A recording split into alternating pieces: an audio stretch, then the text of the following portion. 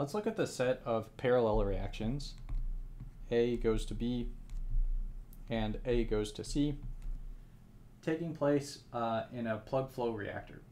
Now we'll assume these have elementary kinetics, so each one is first order with reaction rate constants K1 and K2. And so we can write the mole balances. So here we'll do this in terms of concentration and residence time, assuming a constant volumetric flow rate through the reactor. So we can write that the changing concentration of A with respect to residence time is going to be equal to minus K1Ca minus K2Ca since A is consumed by both of these reactions.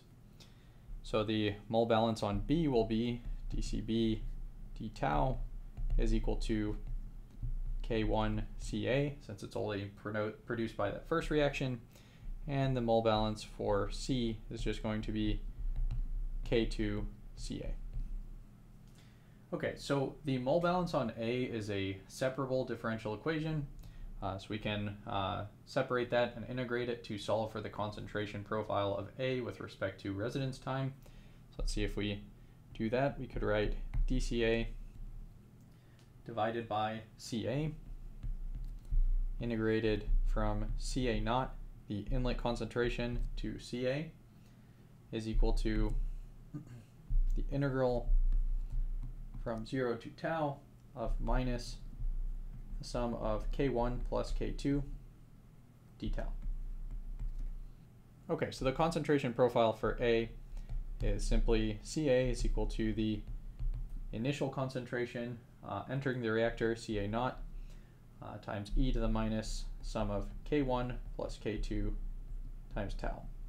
So this looks quite similar to uh, concentration profiles we've seen for A if it was reacting in a single um, elementary first order reaction, uh, but here we have the two reaction rate constants for these two parallel pathways by which A is consumed. So we can plug in this expression of A into the mole balances for B and C.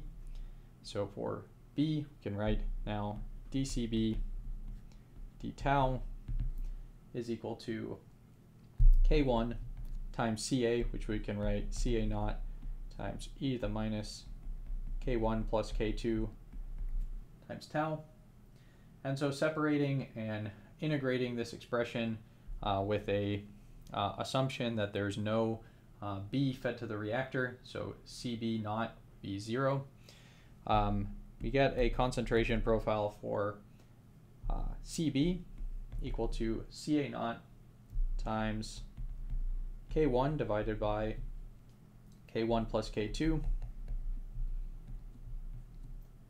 times 1 minus e to the minus K1 plus K2 times tau.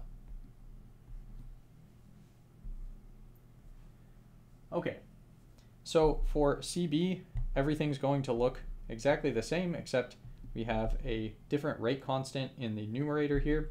So now our concentration of C depends on K2 divided by the sum of the rate constants rather than K1. And the rest of our expression is identical. So here you can see that the selectivity, so say if we define the selectivity to B as the concentration of B divided by the concentration of B plus the concentration of C, so all products.